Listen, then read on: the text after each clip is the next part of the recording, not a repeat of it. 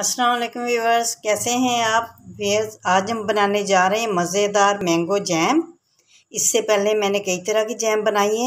आज हम बनाने जा रहे हैं मैंगो जैम। ये मैंने सिंदड़ी आम लिया, ये बहुत मीठा है। तो मैंने, आइए मैं बताती हूँ हमें किन किन चीज़ों की ज़रूरत है। मैंने आम लिया है, लेमन जूस लिया है एक टेबल स्पून एक टुकड़ा मैंने दालचीनी का लिया है, पिंच ऑफ़ मैंने लिया है बेंजोवेट, सोडियम बेंजोवेट।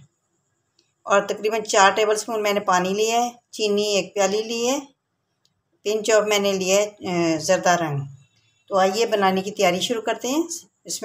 रहीम सबसे पहले मैं आम को छीलूँगी। इस तरह मैं छील के इसके छिलके उतारूँगी। देखें जी, मैंने आम का छिलका उतार लिया और मैं इस तरह कट कर रही हूँ।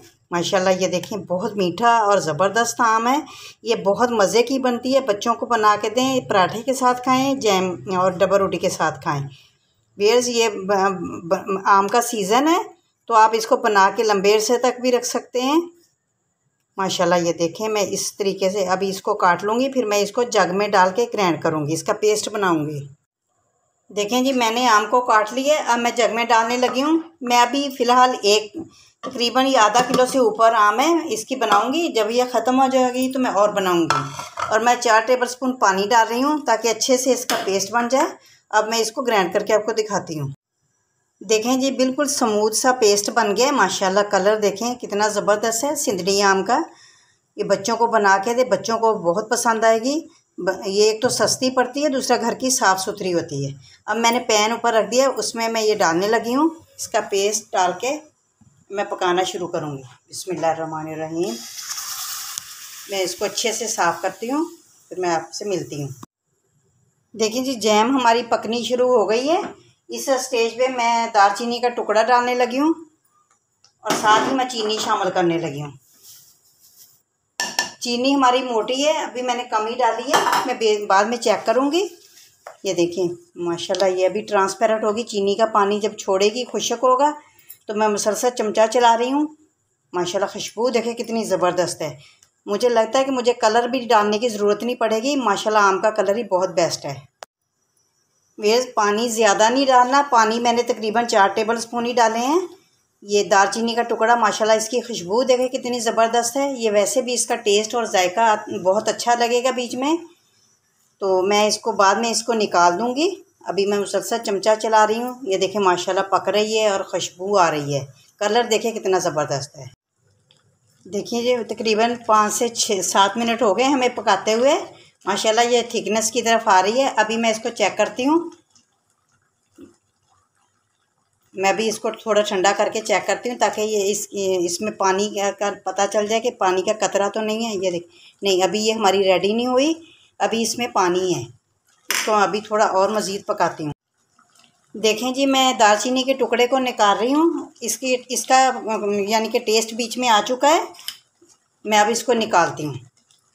माशाल्लाह, खुशबू दालचीनी की बहुत ज़बरदस्त आ रही है। ये वैसे भी बहुत सेहत के लिए अच्छी है, हार्ट के लिए अच्छी है। ये स्किन के लिए बहुत अच्छी है। देखिए जी, अब हम, ये आधे से ज़्यादा रेडी हो चुकी है। अब मैं इस स्टेज पे लेमन जूस डालने लगी हूँ। इसका टेस्ट बढ़ाएगा और इसकी शेल्फ़ लाइफ को ज़्यादा देर तक रखेगा। आप इसको बना के दो से तीन महीने भी रख सकते हैं। बेंजोवेट जो है सोडियम बेंजोवेट इसको ख़राब होने नहीं देता। बशर्ते कि इसमें गीला चम्मच नहीं आप चलाइएगा। माशाल्लाह, खुशबू का टेस्ट खुशबू का नींबू का जायका और उसकी खुशबू ज़बरदस्त है।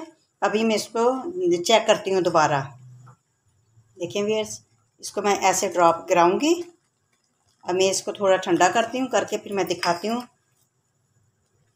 माशाल्लाह, ये देखें देखें जी, अब ये रेडी हो चुकी है। मैं इसका चूल्हा बंद करने लगी हूँ।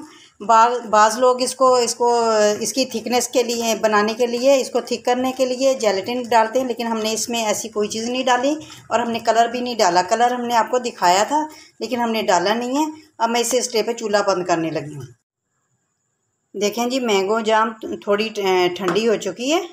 इसको मैंने जैम को थोड़ा ठंडा कर लिया है। अब इस स्टेज पे मैं एक चुटकी है पिंच ऑफ़ सोडियम बेंजोवेट डालने लगी हूँ। ये इसकी शेल्फ लाइफ को बढ़ाएगा। अगर आप नहीं डालना चाहें तो आप इसको स्किप भी कर सकते हैं। अगर देर बार रखना चाहते हैं तो इसमें डाल सकते हैं आप।